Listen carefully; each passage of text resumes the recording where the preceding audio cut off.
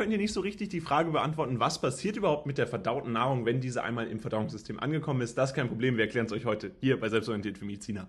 Und hier seht ihr eine kurze Kapitelübersicht über die wichtigsten Themen, die für euch rund um das Thema des Magens relevant sind.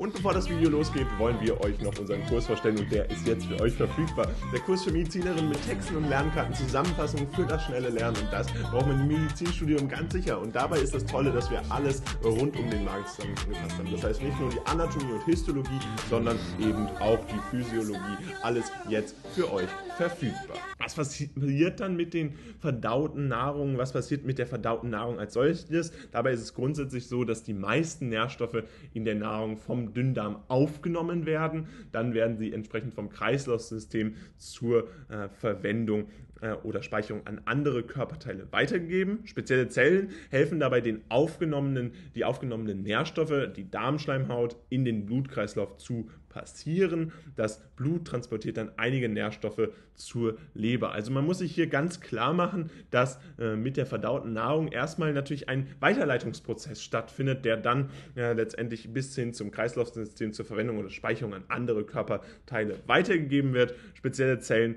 äh, sind dabei unter anderem dafür äh, verantwortlich, um bestimmte Stationen passieren zu können. Und genau das ist natürlich wichtig, um dann letztendlich auch diese Nährstoffe bis hin zur Leber zu transportieren, die dann auch weitere ähm, wichtige Prozesse in den Gang setzen kann, die beispielsweise in der Biochemie eine große Rolle spielen und da hinreichend erklärt werden. Grundsätzlich ist es so, dass das lymphatische System ein Netzwerk von Blutgefäßen ist, das weiße Blutkörperchen und eine Flüssigkeit namens Lymphe durch den Körper transportiert um dann Infektionen zu bekämpfen, absorbierende Fettsäuren und Vitamine äh, dann entsprechend äh, auch absorbieren zu können. Also das lymphatische System hat natürlich äh, auch hier innerhalb der Verdauung äh, nochmal eine weitere Rolle, die dann entsprechend damit äh, verknüpft ist, dass entsprechend äh, diese jeweiligen Nährstoffe da eingebunden werden. Der Körper verwendet außerdem Zucker, Aminosäuren, Fettsäuren und Glycerin, um Substanzen herzustellen, die für Energie, Zellwachstum und Reparatur benötigt werden. Das heißt, die äh, jeweiligen äh, Stoffe, die dann natürlich im Magen gewonnen werden, die werden entsprechend auch gebraucht, um dann diese verschiedenen Prozesse, die alle so vielfältig sind im Magen, entsprechend äh, durchsetzen zu können und um den Körper letztendlich auch am Leben zu halten. Und das muss man sich ganz klar machen, dass diese äh, Vielzahl an Prozessen eben auch daran äh, geknüpft ist, dass der Magen ordnungsgemäß funktioniert, weil er eben eine so wichtige Passierstelle in dem äh, Verdauungssystem des Menschen ist. Und damit fassen wir euch das Wichtigste rund um die Frage, was passiert mit der verdauten Nahrung nochmal zusammen. Die meisten Nährstoffe in der Verdauung werden vom Dünndarm aufgenommen, dann werden sie entsprechend vom Kreislaufsystem zur Verwendung oder Speicherung an andere Körperteile weitergegeben. Spezielle Zellen helfen dabei, den aufgenommenen Nährstoffen die Darmschleimhaut in den Blutkreislauf zu passieren. Das Blut transportiert einige Nährstoffe zur Leber und darüber hinaus gibt es natürlich das lymphatische System, was auch eine Rolle innerhalb dieser äh, verdauten Nahrung spielt, die das lymphatische System, was letztendlich auch durch diese verdaute Nahrung überhaupt erst stattfinden kann und auch alle anderen Prozesse, die im Körper stattfinden, sind natürlich maßgeblich daran daran geknüpft, dass das Verdauungssystem ordnungsgemäß funktioniert und damit auch der Magen ordnungsgemäß funktioniert. Der Körper verwendet Zucker, Aminosäuren, Fettsäuren und Glycerin, um Substanzen herzustellen, die entsprechend für Energie, Zellwachstum und Reparatur des Körpers benötigt werden. Das Video, was ihr euch jetzt hier angeguckt habt, ist jetzt leider vorbei. Allerdings haben wir noch ein weiteres Video, was euch sicherlich auch interessiert, denn es geht genau um dasselbe Thema und verstärkt da nochmal euer Wissen. Also bleibt jetzt dran und los geht's. Gucken wir uns nun an, wie die Verdauung der Nahrung im Magen funktioniert. Wie funktioniert das Verdauungssystem, um letztendlich Nahrung chemisch in kleine Teile zu zerlegen? Wir müssen uns wieder in den Kopf rufen, wir haben ja am Anfang eben äh, die Nahrung, die ganz bewusst durch den Menschen eben aufgenommen wird. Und das Ziel ist es ja, diese in seine kleine Teile zu zerlegen, chemisch gesehen zu zerlegen, damit der Körper entsprechend letztendlich eine Verwertung vollführen kann. Magendrüsen, die in der Schleimhaut produzieren letztendlich Magensäure und Enzyme, die die Nahrung Nahrung chemisch abbauen und dabei sind die Hauptfunktionen des Magens dann letztendlich die aufgenommene Nahrung zu speichern aber auch weiter aufzuspalten und zu mischen. Das heißt, der Magen hat eine Vielzahl an verschiedenen Funktionen und diese unterscheiden sich natürlich auch im Verlaufe äh, der Nahrungsaufnahme dann zwischen diesen drei Hauptfunktionen, nämlich äh, Speichern, Aufspalten und Mischen. Dies wird zum einen durch eine intensive wellenförmige Bewegung der Muskelwand und zum anderen durch den von Drüsen in der Magenschleimhaut produzierten Magensaft erreicht. Das heißt, der Magensaft enthält spezielle Enzyme, die die nah bestimmten Nahrungsbestandteile im Magen vorverdauen und die damit natürlich auch eine große Relevanz hier entsprechend für die Verdauung der Nahrung im Magen haben. Und gleichzeitig muss man sich aber auch bewusst sein, die Bewegungen, die im Magen stattfinden, die sind eben ausschließlich deshalb möglich, weil wir entsprechend hier auch diese Hauptfunktion durch die verschiedenen Muskulaturen der Magenwand entsprechend überhaupt erst möglich machen können. Die Sekretion von Magensaft durch die Drüsen wird dabei durch die sogenannten Vagusnerven angeregt, beziehungsweise den sogenannten Vagusnerv, also den Parasympathikus. Diese Stimulation kann einfach durch den Anblick, Geruch oder auch den Geschmack von Nahrung oder durch die Erweiterung des Magenteils beim Eintritt der Nahrung in den Magen erfolgen. Also man muss sich klar machen, es gibt hier ganz verschiedene äh, Reize, die letztendlich ganz verschiedene Stimuli, die auslösen können dass wir entsprechend eine Sekretion von Magensaft äh, vollführen können. Äh, dabei sind diese Drüsen dann durch den Vagusnerv innerviert, was enorm wichtig ist, um dann letztendlich zu verstehen, wie die Verdauung der Nahrung tatsächlich auch stattfindet, wie sie in den Gang gesetzt wird. Darüber hinaus enthält der Magensaft natürlich auch noch eine Säure, die Bakterien abtötet. Eine ganz wichtige Funktion, die dann entsprechend äh, dazu führt, dass äh, Bakterien, welche in den Magen gelangt werden, äh, entsprechend abgetötet werden und dadurch eine Infektion verhindert werden kann. Das heißt, der Magen hat darüber hinaus, abseits dieser Vielzahl an verschiedenen Mechanismen, die während der Verdauung stattfinden, auch noch eine Funktion des Schutzes. Und das muss man sich auch ganz klar machen. Der Magen ist eben nicht nur für die Zerkleinerung, Mischung und die Speicherung zuständig, sondern, und das ist jetzt auch noch eine weitere kleine Funktion im Vergleich zu den anderen, aber doch noch eine sehr wichtige, die natürlich bei verschiedenen Krankheiten dann problematisch wird.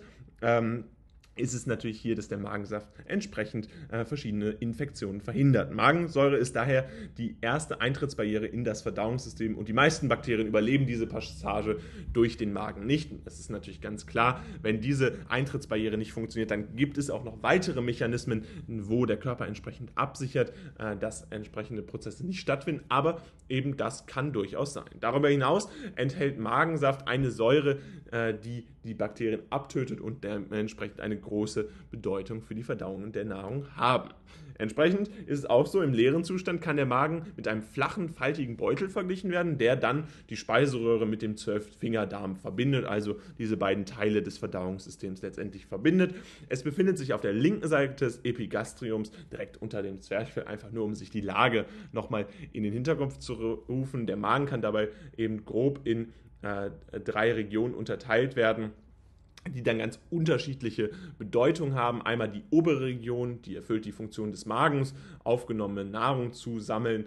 Dieser Teil äh, ist entsprechend, äh, kann sich ausreichend ausdehnen, um bis zu zwei Liter Nahrung aufzunehmen. Der zweite äh, zentrale Teil äh, ist entsprechend der Körper des Magens, der zerkleinert die Nahrung weiter und mischt sie dann durch. Von hier aus wird dann der Nahrungsbolus in kleine Portionen über die untere Transportzone, also das Antrum und den Magenausgang, also den Pylorus, zum Darm transportiert. Nahrungsaufnahme und Abgabe werden durch zwei spezielle Schließmuskeln am oberen und unteren Ende des Magens reguliert reguliert. Je nach Bedarf können sie als Ventile geöffnet oder geschlossen werden und sollen eben beispielsweise auch Brechreize verhindern. Und hier haben wir eben den Ösophagus-Sphinkter und auch den Pylorus-Sphinkter. Wenn der Schließmuskel zwischen Speiseröhre und Magen dann natürlich nicht richtig schließt, kann Magensäure unkontrolliert in die Speiseröhre aufsteigen und schmerzhafte Reizungen der Speiseröhrenschleimhaut verursachen.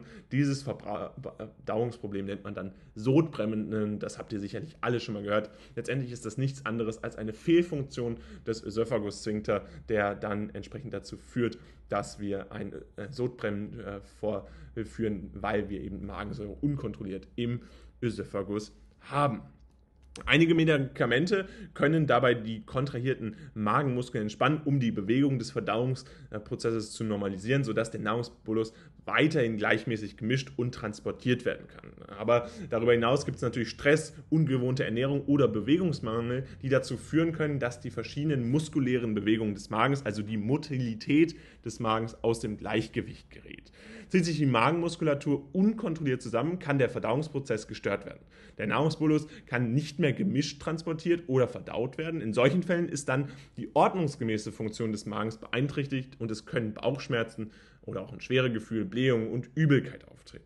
Feste Nahrung bleibt dabei ungefähr ein bis fünf Stunden im Magen, Flüssigkeiten nur 10 bis 20 Minuten und leichte Speisen wie beispielsweise Obst, oder Gemüse verbleiben zwischen ein und zwei Stunden im Magen, während fettreiche und schwere verdauliche Speisen sogar bis zu acht Stunden innerhalb des Magens verbleiben können und damit die Verdauung äh, der Nahrung im Magen natürlich auch enorm auf die verschiedenen Inhaltsstoffe ankommt. Und damit muss man sich das ganz klar machen, dass das natürlich auch unterschiedliche äh, Medikament, Medikamentationen möglich macht, aber eben auch äh, Unterschiede hervorruft, wenn wir beispielsweise äh, unterschiedliche Aufnahmeprozesse innerhalb des Körpers haben und das äh, ist natürlich auch innerhalb äh, der späteren äh, Behandlung von Patienten ganz wichtig. Fassen wir euch das Wichtigste einmal zusammen. Die Hauptfunktionen des Magens bestehen darin, die aufgenommene Nahrung zu speichern, weiter aufzuspalten und zu mischen. Darüber hinaus haben wir eine antibakterielle Wirkung durch die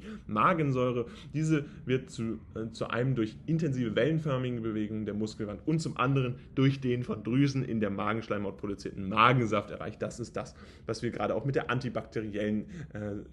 Wirkung entsprechend nochmal hervorheben wollten. Die Sekretion von Magensaft durch die Säuren wird dabei durch den sogenannten Vagusnerv angeregt. Darüber hinaus enthält Magensaft eine Säure, die Bakterien abtötet, die in den Magen gelangen, um eine Infektion zu verhindern. Also auch das enorm wichtig, hier um die Funktionen des Magens zu vollständig zu verstehen. Und damit soll es auch schon wieder gewesen sein mit diesem Video rund um den Magen. Ihr habt jetzt wirklich alles äh, gelernt, was ihr rund um den Magen braucht. Äh, falls ihr noch mehr über unterschiedliche Themen lernen wollt, dann könnt ihr einerseits jetzt unsere Playlist auschecken, unseren Kanal abonnieren und dem Video ein Like da lassen. Und natürlich könnt ihr auch unsere Website auschecken, denn da gibt es diesen Kurs, also Anatomie, Histologie, Physiologie des Magens mit 20% mit dem Code WELCOME für euch einmal direkt in der Videobeschreibung verlinkt und dann checkt es einfach gerne mal aus. Und ihr habt die Möglichkeit, Selbstorientiert Plus für Medizinerinnen jetzt auszuchecken. Im Abo-Modell bekommt ihr da wirklich alles an Kursen, was wir jemals veröffentlichen. Und das ist natürlich auch super hilfreich. Also ganz viel Spaß dabei. Texte, Zusammenfassungen, Karteikarten, alles, was ihr braucht fürs Physikum, aber auch für eure nächste Klausur. Checkt es gerne aus und wir sehen uns beim nächsten Mal wieder. Haut rein und ciao. I think I'm overdosing. I think I'm overdosing.